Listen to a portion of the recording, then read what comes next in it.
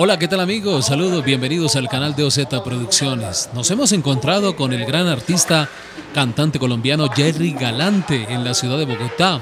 Estas imágenes que observan son del ensayo de la canción La Danza de la Chancaca que preparaban precisamente para su presentación artística y toda su orquesta en la discoteca Juancho y Hincho el pasado sábado 5 de mayo del 2018. Bienvenidos al canal de OZ Producciones y la entrevista con Jerry Galante, nuestra salsa colombiana.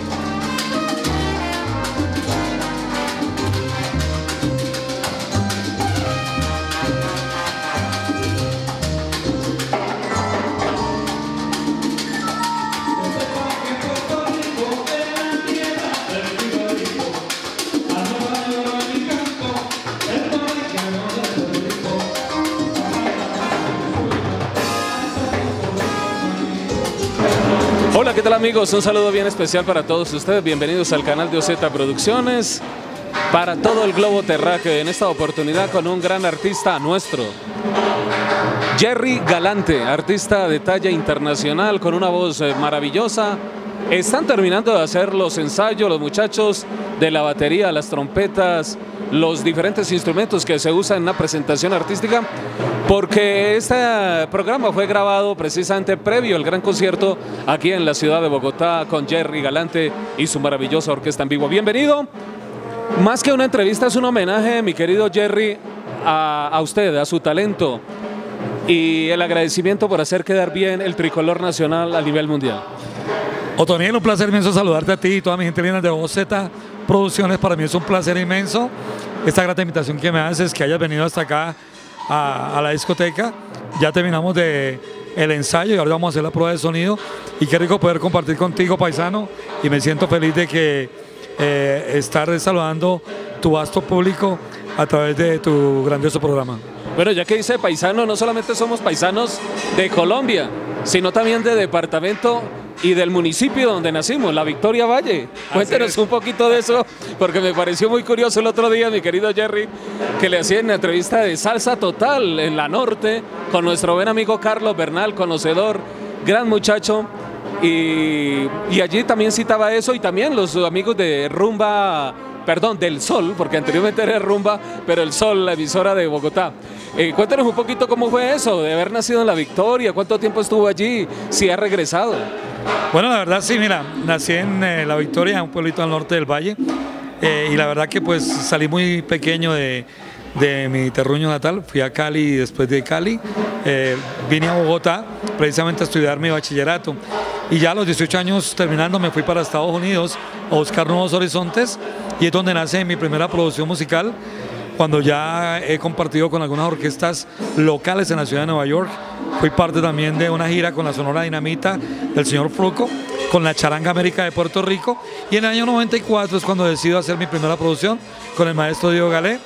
La hicimos en Cali, precisamente, en el estudio de Jairo Varela, que en paz descanse, con grandes baluartes del género de la salsa de Colombia, eh, en los coros como Javier Vázquez, Charlie Cardona, Carlito Guerrero, Pelusa en el piano, y bueno, un gran arreglista que fue el que hizo ese gran éxito, eh, Déjame Intentar, el maestro More Jiménez, todo dirigido por el maestro Diego Galé.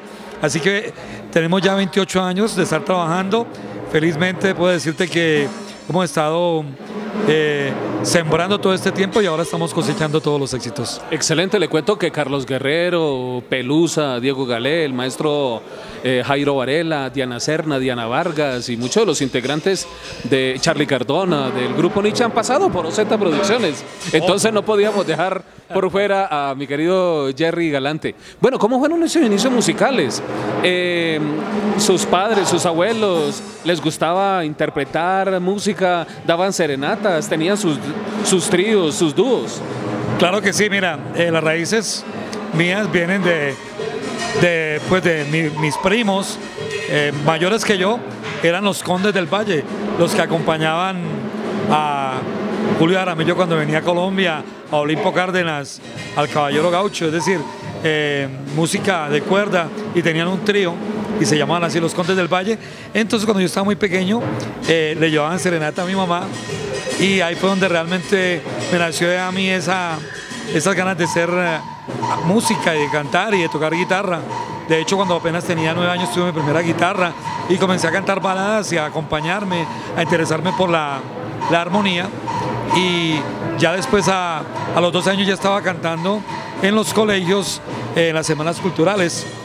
Ya cuando tenía 15 años, eh, fui participante de un gran uh, concurso, La Nueva Estrella de las Canciones, con Jorge Barón Televisión. Oh, sí, claro. Y ahí estuve representando al departamento del Valle, salí ganador y eso me motivó mucho más para decir, yo realmente quiero ser artista, yo quiero ser una estrella. Y entonces es donde me voy para Estados Unidos, que ya mi madre estaba en Estados Unidos, me abrió las puertas, me dio el apoyo y comencé como todo mundo a trabajar en una factoría, pero comencé a, a, a ahorrarme dinero y a querer meterme en el cuento de, de, la música, y especialmente de la música tropical. Y realmente eso es como nace eh, ese sueño de ser artista y le doy gracias a Dios que me ha permitido lograr muchas cosas y las que me faltan. Claro que sí. Bueno, su primer contacto con esto de los grandes de la música, usted hablaba de Fruco, del maestro Diego Galé, de Pelusa. ¿Cómo fue ese primer contacto con uno de los grandes para usted eh, darse a la proyección musical? Bueno, realmente, a ver, cuando yo termino de hacer la gira con el maestro Fruco y la Sonora Dinamita, yo conozco a la Charanga América porque estábamos alternando. Y ahí, como ya vivía yo en Nueva York, me quedé trabajando con ellos. Y con la Charanga América, en algún momento tuve la oportunidad de ir a, alternar con el grupo Nietzsche. Y ahí conocí al maestro Diego Galé, que tocaba la percusión, era el líder de la percusión del grupo Nietzsche. Poco antes de los noventas. Eh, realmente eso fue en el 91, creo. 91, no, 91 92. Entonces, eh, ya de ahí es donde yo hago amistad con Diego y él estaba apenas empezando con el grupo Galé. Él apenas tenía eh, una o dos producciones con el grupo claro, Galé. Es que el grupo estaba Galé, mi vecina. Claro, nace en 1989, está, está en lo cierto, claro. Entonces ahí eh, Diego me dice, yo te voy a hacer la producción, Jerry, y es donde hacemos una gran amistad con él y con Jairo y es donde decidimos hacer esa primera producción donde surge el éxito Déjame Intentar, que fue un, un, éxito a, nivel nacional e internacional. Muy bendecido me siento de saber que con esta primera producción logramos llegar a, a los primeros listados de popularidad en las eh, estaciones de radio a nivel de Colombia y a nivel también de Estados Unidos, ¿no? con, con Déjame Intentar. Y ahí ya me fortalezco más y nos vamos para Puerto Rico con Diego a hacer la segunda producción con grandes baluartes del género de la salsa en Puerto Rico. La combinación perfecta, Colombia y Puerto Rico. Y ahí surge el éxito Tú eres lo máximo. Ya posteriormente en la tercera producción la firmo con el king de la radio, el rey de la radio y el en Nueva York, que es el señor Ral Mercado. El mercado Ra ya desaparecido. Rafi Mercado.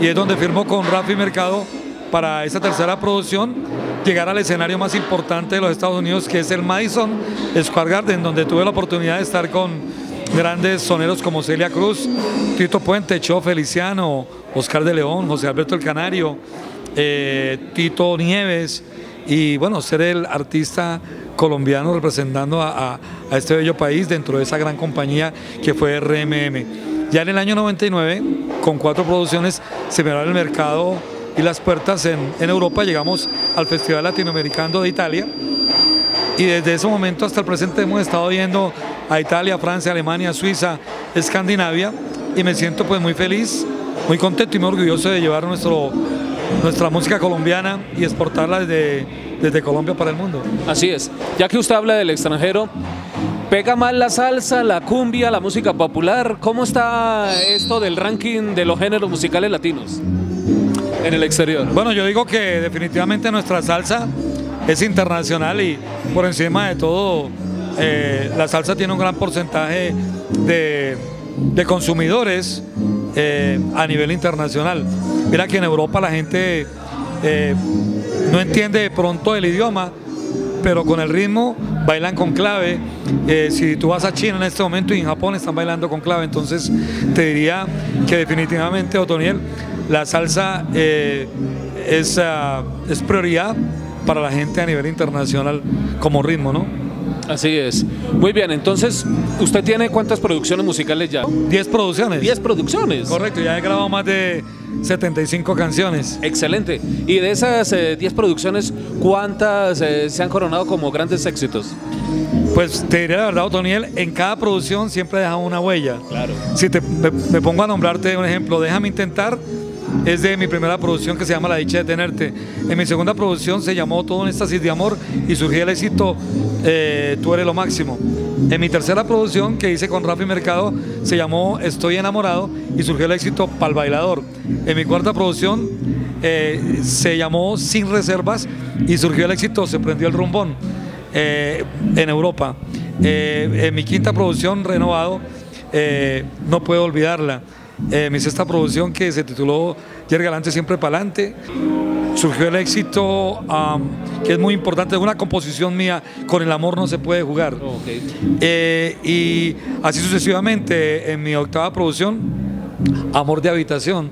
Y recientemente pues tengo una canción ahorita que estamos lanzando que se llama Como tú no hay dos, que es de mis sentimientos. Se llama, la producción se llama Mis sentimientos y, este tema va muy bien. Ya tenemos eh, básicamente más de 13 mil visitas en mi canal de YouTube y, es lo más reciente, así que vamos, vamos súper bien, gracias a Dios. De maravilla.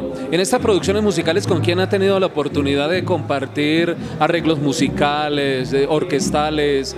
¿Quiénes han estado metiéndole el piano, las trompetas, los trombones? La batería, las congas, la percusión? Bueno, realmente eh, como director musical siempre el maestro Diego Galé en todas mis producciones, pero ha participado, como te dije, en el piano Pelusa, eh, ha participado el maestro Mori Jiménez, Alberto Barros, eh, los coristas del grupo Galé, los coristas del grupo Nietzsche, Ramón Sánchez de Puerto Rico, un gran arreglista que también le hace los arreglos a Gilberto Santa Rosa, a Frankie Ruiz, desaparecido. Eh, y bueno, Toñito Vázquez, gran trombonista, eh, Lenny Prieto en el piano, todos boricuas, Pedrito Pérez en el bajo. Es decir, eh, a nivel internacional hemos compartido muchas experiencias lindas en mis grabaciones y me siento orgulloso de, todo este tiempo, de estos 28 años, haber hecho como esa hermandad y enriquecerme de conocimientos no solamente con el talento colombiano, sino con el talento internacional, especialmente mis grandes amigos de Puerto Rico. Así es, y que queremos tenerlo por mucho tiempo más, Jerry. Supimos que tuvo quebrantos de salud el año pasado. ¿Qué fue lo que le sucedió y cómo está su condición física ahora mismo?